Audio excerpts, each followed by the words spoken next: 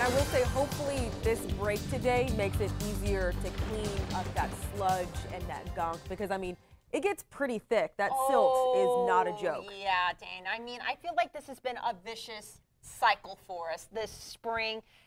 Thankfully, everything's calming down a bit. Yes. But unfortunately, there are some rain chances in the forecast. But I'm not expecting it to be as bad as it has been, at least from from the last 10 days. The time is 647. As you are beginning your Thursday, we are waking up to mostly clear skies, a few clouds out in the distance on our KQ2 tower camera overlooking St. Joseph, but it's a quiet but a cool start.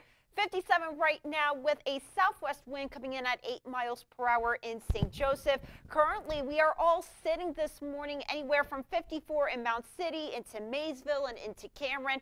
Rockport and Hiawatha, you're waking up this morning at 53, 54 in Kansas City, 57 degrees over in Trenton, 58 right now in Chillicothe. I am expecting temperatures today to only go up to the lower 70s which is below average. But you know what? At least it's going to be nice and refreshing out there for the most part. Partly sunny skies at least through lunchtime. Now, there is a weak disturbance we're watching today that could give us a few stray showers and some thunderstorms heading into the afternoon. But the good news is I am not expecting a complete washout. However, if you do suffer from those seasonal allergies, be aware that the grass and tree pollen is getting a little higher. Right now it's at a medium level, so if you need to take allergy medication for that, you might want to do that if you're heading out this morning.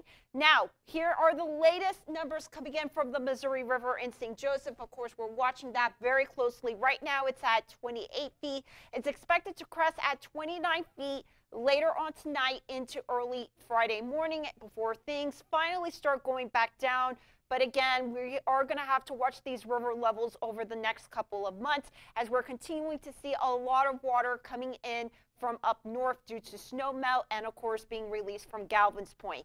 Temperature trend for the next five days. Looking pretty good. 73 again for your high today. I am expecting us to get back up to near average temperatures by the weekend before we cool down a bit heading into our Monday. Again, all is quiet this morning on our KQ2 high resolution max satellite and radar. Our storm system that's been responsible for our flooding and severe weather is finally exiting the central plains. We do have a weak disturbance that's going to push through later on today that could give us those stray showers and thunderstorms. But again, not a washout. So that is the good news. Here's a quick look at your KQ2 hour by hour forecast.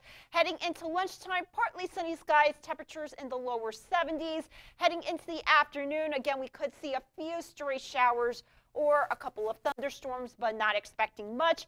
Middle to upper 60s heading into 9 o'clock, but again, it's looking to be a great Friday for us as we finally wrap up a long work week. 73 degrees for your high today with those scattered chances of a stray shower or thunderstorm. And in your KQ2 5 to 7 day forecast, Friday and Sunday are looking great. Yeah, we have a couple of showers and thunderstorms in the forecast on Saturday, but again, not looking to be a complete washout day. We are watching a few chances for some showers and thunderstorms, especially for next Tuesday, but I'm just hoping it's nowhere near from what we've had to deal with. I hope so. Mother Nature better be tired by this point. Oh, I hope she is. when we come back.